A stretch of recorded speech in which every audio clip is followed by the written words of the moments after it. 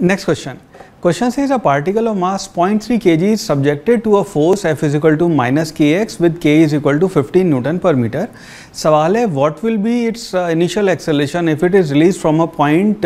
X equal to twenty centimeter again आसान सवाल है। सो so, स्प्रिंग मान सकते हैं इस फोर्स को तो यह आपका जो स्प्रिंग है यह आपकी नेचुरल लेंथ है uh, उसके आपने उसको ट्वेंटी सेंटीमीटर से एक्सटेंड किया है। और उसके बाद यहाँ से आपने इसको रिलीज़ किया है। आपको बताना है इस ब्लॉक का एक्सेलेशन क्या होगा ठीक है? और यहाँ पे इसका जो मास है एम वो अपने को दिया हुआ है M is equal to zero point three K G और के की वैल्यू दी हुई है 15 न्यूटन पर मीटर नाउ इस केस में जो फोर्स है that is equal to minus K X force को आप यहाँ पे एम ए लिख सकते हैं will be equal to minus K X which implies acceleration will be equal to minus K X by M बस यहाँ डेटा रख के फाइनल वैल्यू आ जाएगी अपनी।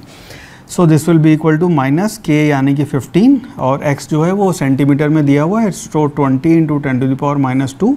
R divided by mass mass है 0.3 पॉइंट थ्री के जी सो बस इसे सॉल्व करके अपने को एक्सेलेशन मिल जाएगा। सो so, इसको एक्सेलेशन जब सॉल्व करेंगे तो ये बचा फाइव इंटू टू टेन और ये so that will be equal to ten meter per second square ये आएगा और वैल्यू इसके नेगेटिव में होएगी। इसका मतलब ये कि आपका अपोजिट uh, डायरेक्शन में है